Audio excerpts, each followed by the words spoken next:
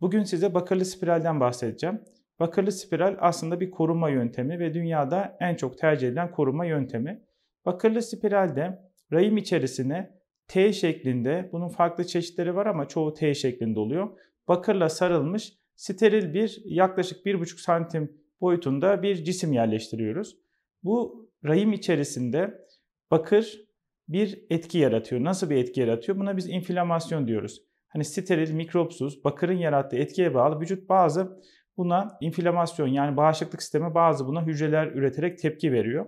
Ve bu bağışıklık sistemi ürettiği maddeler, bakırdan dolayı ürettiği maddeler spermin rahim içerisinde ölmesini sağlıyor. Ölmesine neden oluyor. Yani spiral olduğu sürece sperm rahimi geçip tüplerde bekleyen yumurtaya ulaşamadığı için döllenme yani gebelik oluşmuyor.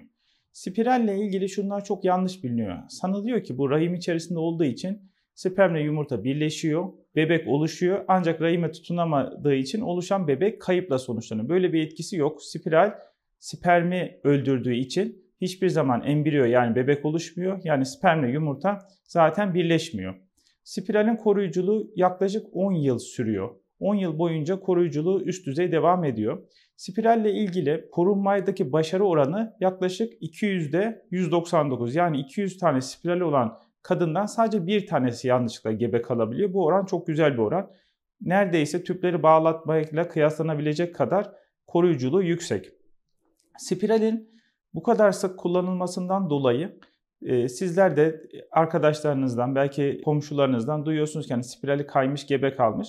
Aslında bu olaylar çok nadir olan olaylar. Yani yaklaşık %1, %2 civarı. O da genellikle olursa ilk bir yıl içerisinde daha sık oluyor ve ultrason kontrolüyle bile karından bakılarak kayıp kaymadığı çok rahat anlaşılabilir. Yani spiral sandığınız kadar çok sık kayan ya da spiralle kazara gebelik çok yüksek oranlarda değil. Dediğim gibi bunlar yaklaşık 200'de 1 gibi istenmeyen gebelikler oluşuyor. Doğum kontrol hapından, prezervatif kullanmaktan, planlama yapıp bugün yumurtlama oldu olmadı ilişkiye girmekten ya da dışarı boşalmaya kıyasla çok daha koruyuculuğu yüksek bir yöntem.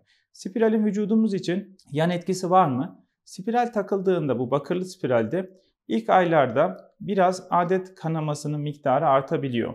Biraz adet ağrısının miktarı, krampları miktarı artabiliyor. Bunlar yaklaşık %5-10'luk bir artış olacağı gibi basit bir ağrı kesiciyle hem kanama fazlalığı azaltılabiliyor hem de o krampların şiddeti azalabiliyor. Çoğu hasta, çoğu kadın spiralden memnun kalıyor. Spiral takıldıktan sonra bununla ilgili memnuniyet oranları %97. Yani yaklaşık %3 hasta bu ağrılardan ya da kanamadan şikayet ederek çıkartılıyor. %97'si çok memnun kalıyor ve tolere edebiliyor. Bunun dışında da adetlerle ilgili bir düzensizlik falan yapmaz. Çünkü herhangi bir hormon içermediği için. Spiralin esas uygulanma nedeni sizi istenmeyen gebeliklerden koruması olmasına rağmen bazı pozitif yan etkileri de oluyor. Spiral kullanan hastalarda rahim ağzı kanseri görülme sıklığının ciddi oranda azaldığı gösterilmiş. Bununla ilgili tahmin edilen mekanizma yani bunu nasıl yapıyor olabilir?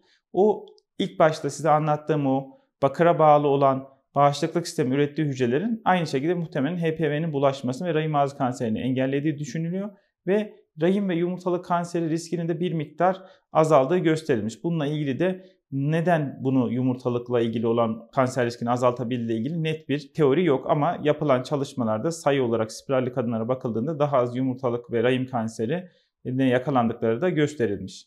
Dolayısıyla spiral güvenilir bir koruma yöntemidir. Doğum yapmış yapmamış herkese takılabilir. Enfeksiyon riskini artırmaz. Birkaç ay adet kanaması ve ağrısı düzeylerinizi hafif artırabilir. Çıkarıldığı anda bir ay içinde doğurganlığınız normale döner, kalıcı bir kısırlık yapmaz. Dünyada en çok tercih edilen koruma yöntemidir. Amerika Birleşik Devletleri'nde daha çok eski yıllarda doğum kontrolleri ön plandayken artık oralarda da %15 düzeyinde hasta tercihi düzeyine çıktı ve gitgide de kullanımı daha da yaygınlaştırılacak gibi görülüyor.